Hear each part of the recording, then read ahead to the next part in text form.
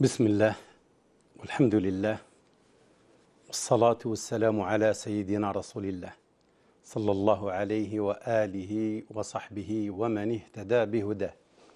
أيها الكرام السلام عليكم ورحمة الله وبركاته. ما أشبه اليوم بالبارحة أو ما أشبه البارحة باليوم. كلمة يرددها مشايخنا ودعاتنا والمتأملين والمتدبرين في حياتهم. ما أشبه اليوم بالبارحة. حال الأمة الإسلامية أيها الكرام اليوم حال الأمة الإسلامية اليوم في حال يندى له الجبين. حال الأمة الإسلامية البارحة واليوم متشابه إلى حد كبير. وما يجري الآن على هذه الأمة وما جرى عليها من قبل جد متشابه. فقط نحن لا نراجع. فقط نحن ننسى. أو نتناسى ما حدث بالأمة الإسلامية سابقا. ما يجري أيها الكرام على أهل الإيمان من قتل وانتهاك للحرمات والتهجير وضيم وظلم وتنكيل حصل بالذات وكأنك تراه في السابق رأي العين في التاريخ الإسلامي. فقط نحن لا نقرأ. فقط نحن لا نتدبر ولا نربط الأحداث لا نربط السابق باللاحق. وأحيانا نتناسى. لكن التاريخ لا ينسى. كل مسجل. لقد جاء بهذا الأمر القصص القرآني وسيرة الأنبياء والرسل عبر التاريخ إلى سيرة حبيبنا محمد صلى الله عليه وسلم.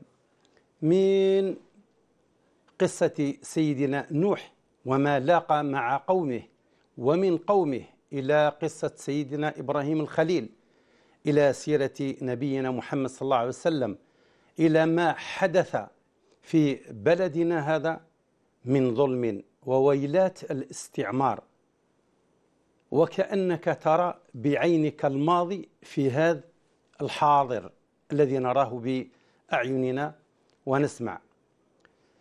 أهل الإيمان منذ زمن مروا بويلات لا لشيء إلا أنهم قالوا ربنا الله سبحانه عز وجل مرت عليهم هذه الأحداث نفسها إنه الصراع بين الحق والباطل إنه الصراع بين أن تكون أو لا تكن. أن تكون أو لا تكن. فلقد بلغ الأمر بسيدنا نوح وبسيدنا إبراهيم كما تعلمون أنه فقط استنكر عبادة هذه الأصنام فجعلهم جذاذا إلا كبيرا لهم لعلهم يرجعون لعلهم يعودوا إلى رشدهم إلى صوابهم كيف يترك الله في عبادة الله سبحانه عز وجل ويعبد من غير الله صنم لا ينطق ولا يأكل ولا يشرب ولا أي شيء ولا ولا ولا يقدم شيئا لا من الشر ولا من الخير. أيها الكرام ماذا فعلوا بسيدنا إبراهيم الخليل؟ جردوه من ثيابه عريانا ثم وضعوه في منجنيق. وحضروا له مجمر نتاع نار. أعدوا لها شهرا كاملا وهم يجمعون لها في الحطب. يستحيل أن يمر عليها طائر إلا وأن يذوب يسقط في هذا المجمر. ولم يستطيعوا أن يحملوا سيدنا إبراهيم ويضعوه بأيديهم على النار. يستحيل فوضعوه في المنجنيق وقذفوه في السماء. وهو إلى ذلك المستقر. جاءه جبريل في السماء يا إبراهيم ألك حاجة عندي؟ كاش ما نقدر نساعدك قال له عقيدة ويقين بالله سبحانه عز وجل وإيمان بالله أما إليك فلا. علمه بحالي يغنيه عن سؤالي وهذا الكلام قال علماؤنا ما يقول إلا سيدنا إبراهيم الخليل. حتى وإن يجوز لكن هذا كان خاص بسيدنا إبراهيم الخليل. فجاء الثبات من الله سبحانه عز وجل وجاءت المنجى من الله سبحانه عز وجل. فقالها النار هذه نزع منها هذه الخاصية خاصية الإحراق وقال لها يا نار كوني بردا وسلاما على إبراهيم. فكانت كذلك. وبعد شهر ما طفات هذا النار وذهبوا ليحملوا العظام وجدوه في وسطها قائما يصلي. وما ذلك على الله بعزيز. ماذا ربحوا؟ ماذا ربح أهل الطغيان أهل الكفر أهل الشرك؟ وهذا ديدن هذا هذا الطائفة والعياذ بالله التي لعنها الله وغضب عليها وجعل منها القردة والخنازير. إذا لا نستغرب. هذا ديدن كل طاغ وكل طغيان وكل متجبر وكل متكبر عبر الزمان أيها الكرام ولقد بلغ كذلك به ما بلغ سيدنا إبراهيم مع قومه. من الذي أنجاه؟ دعوة الله سبحانه عز وجل بهذه الكلمة الطيبة المباركة. كان يقول حسبي الله لا إله إلا هو عليه توكلت وهو رب العرش العظيم فجاءت الإجابة من الله سبحانه عز وجل. وهذا سيدنا محمد صلى الله عليه وسلم خليل الرحمن بعد خليل الرحمن إبراهيم عليه السلام وهو الذي يقول ولو كنت متخذا خليلا غير ربي لاتخذت أبا بكر خليلا ولكن خلة الإسلام.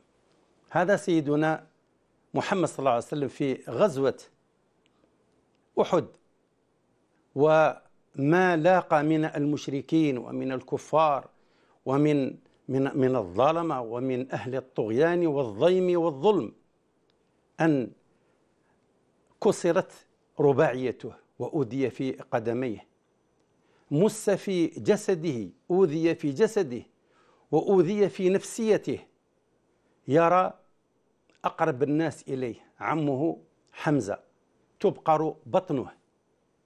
أقرب الناس إليه من الصحابة مصعب بن عمير يقتل أمامه أقرب الصحابة إليه ومن أجل الصحابة إليه في نصرة لا إله إلا الله محمد رسول الله صلى الله عليه وسلم. فماذا كان يقول؟ كان يقول حسبي الله ونعم الوكيل. ورغم كل هذا جاءه المثبطون يقولون له إن الناس قد جمعوا لكم فاخشوهم معناه يثبط استسلموا. يستسلموا للكفار استسلموا لهؤلاء المجرمين لهؤلاء الطغاة لهؤلاء المشركين. يستسلموا لهم.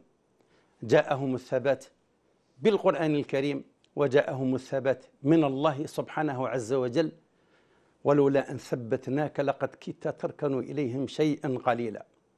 وكذلك يقول النبي يقول المولى تبارك وتعالى عن القرآن لنثبت به فؤادك ورتلناه ترتيلا. إن الناس قد جمعوا لكم فاخشوهم. جاء الثبات من الله وبالقرآن الكريم فزادهم إيمانا وقالوا حسبنا الله ونعم الوكيل. وقالوا حسبنا الله ونعم الوكيل. فانقلبوا بنعمة من الله وفضل لم يمسسهم سوء واتبعوا رضوان الله والله ذو فضل عظيم. انظروا إلى كلمة حسبي الله ونعم الوكيل. حسبنا الله لا إله إلا هو عليه توكلنا وهو رب العرش العظيم.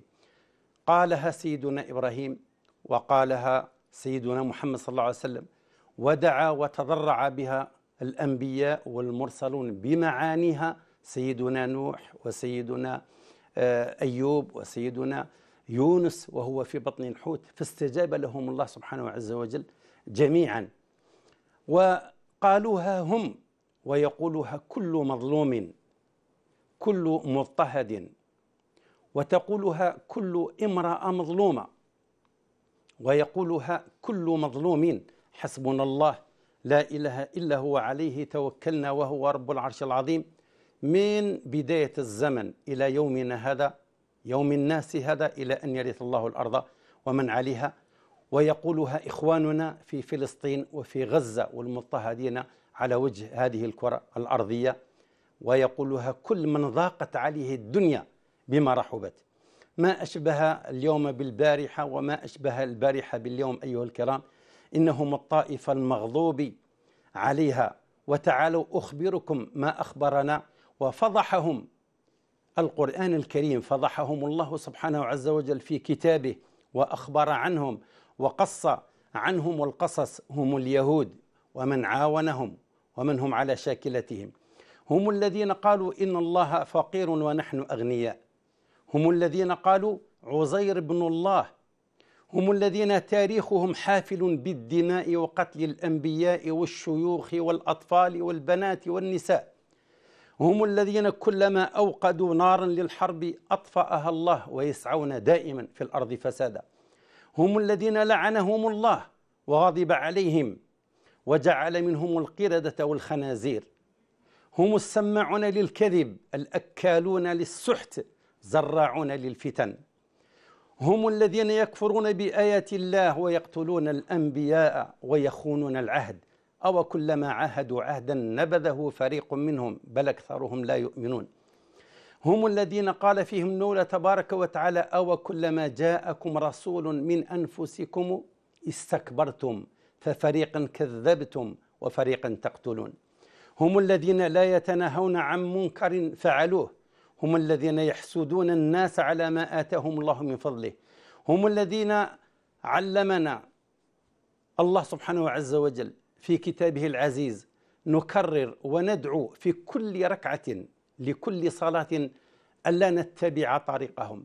اهدنا الصراط المستقيم صراط الذين أنعمت عليهم غير المغضوب عليهم هم اليهود ولا الضالين. اليهود هم الذين يعلمون ولا يعملون. فمن عمل فمن علم ولم يعمل فيه شبه من من اليهود والعياذ بالله. أما النصارى هم الخدم خدم اليهود لو يعلموا. فهم يعملون بغير علم. فمن فمن فمن عمل بغير علم فيه شبه من النصارى. هكا يقول علماءنا ونحن نقول ونكرر في كل ركعة اهدنا الصراط المستقيم صراط الذين أنعمت عليهم غير المغضوب عليهم ولا الضالين. إذا أحببنا أيها الكرام أن ينصر الله سبحانه عز وجل إخواننا في فلسطين وفي غزة والمضطهدين في كل مكان لا بد زيادة عن الدعاء لهم والتضرع إلى الله سبحانه عز وجل. إذا أحببنا أن يكون لنا تأثير مباشر زيادة عن الدعاء أن نمتنع عن المحرمات وأن لا نعصي الله سبحانه عز وجل وأن نتجنب المعاصي وأن نصل أرحامنا بفعل بهذه الأفعال أن نبتعد ونمتنع عن الربا والزنا والفواحش ما ظهر منها وما بطن. ونتقرب إلى الله سبحانه عز وجل بالنوافل وبكل ما نملك وبالإنفاق في سبيل الله من أجل أن نكون سببا وأن تكون أعمالنا هذه سببا مباشرا في نصرة إخواننا في فلسطين وفي غزة بالضبط. يقول زيد بن حكيم معناه وإن كان ولا بد أن نمتنع عن الظلم لا نظلم بعضنا البعض. يقول زيد بن حكيم ما هبت أحدا هيبتي رجلا ظلمته وأنا أعلم أنه لا ناصر له إلا الله. يقول حسبي الله بيني وبينك. إذا واحد قال لك حسبي الله بيني وبينك راجع روحك. اللهم انصر الإسلام والمسلمين واخذل الشرك والمشركين. اللهم انصر عبادك الموحدين. اللهم انصر إخواننا في فلسطين. اللهم كن معهم ولا تكن عليهم. اللهم انصرهم على عدوك وعدوهم يا رب العالمين. اللهم اخزي هذا الطائفة الطائفة المنبوذة المغضوب عليها اللهم اخزهم اللهم لا ترفع لهم راية اللهم شتت شملهم اللهم رمل نساءهم. اللهم يا رب العالمين إنك تسمع وترى عبادك المؤمنون يتضرعون إليك صبح مساء ليل نهار. اللهم كن معهم ولا تكن عليهم.